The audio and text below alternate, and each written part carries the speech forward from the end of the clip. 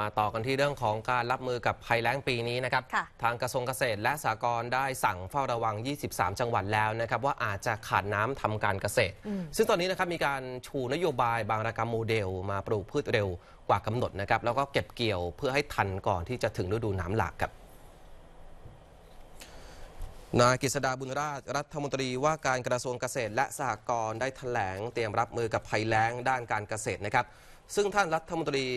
ว่าการกระทรวงเกษตรนะครับก็บอกว่าปีนี้น้ำดีกว่าปีที่ผ่านมานะครับแต่ก็ยังคงมีพื้นที่เสี่ยงภัย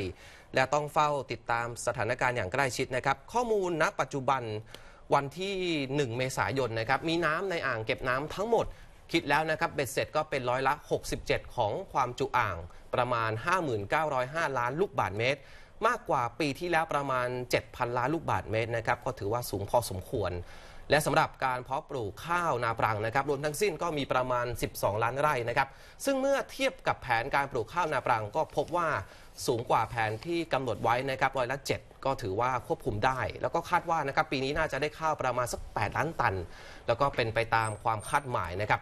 ซึ่งตรงนี้เองนะคะ ทางกรมชลประทานได้ประเมินความเสี่ยงของพื้นที่ที่จะเกิดภัยแล้งค่ะ ก็พบว่าไม่มีพื้นที่เสี่ยงขาดแคลนน้ำเพื่ออุปโภคบริโภคนะคะ แต่ว่าพื้นที่ขาดแคลนน้ำเพื่อการเกษตรนั้นมีประมาณ 23 จังหวัด 74 อำเภอ ในภาคตะวันออกเฉียงเหนือตอนล่าง และภาคกลางตอนบนค่ะ ซึ่งก็เป็นพื้นที่นอกเขตชลประทาน และพื้นที่ที่เคยประสบปัญหาซ้ำซากนะคะซึ่งกระทรวงเกษตรเองได้มีหนังสือสั่งการให้แต่ละจังหวัด ตรวจสอบพื้นที่ให้ข้อมูลกับพี่น้องประชาชน เพื่อเฝ้าระวัง และก็ประเมินสถานการณ์ รวมถึงเร่งส่งเสริมให้เกษตรกรนั้นปลูกพื้น ปลูกพืชชนิดอื่นค่ะ เพื่อทดแทนการปลูกข้าวนาปรังด้วยค่ะ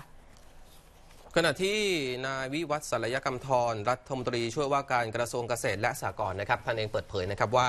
แผนการจัดการน้ำในพื้นที่ลุ่มน้ำเจ้าพระยาปีนี้นะครับ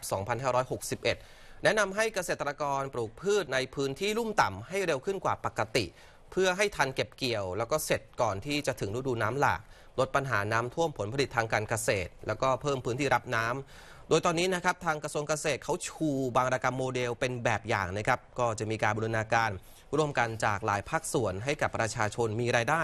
จากอาชีพประมงในช่วงฤดูน้ำหลากนี้ด้วยครับ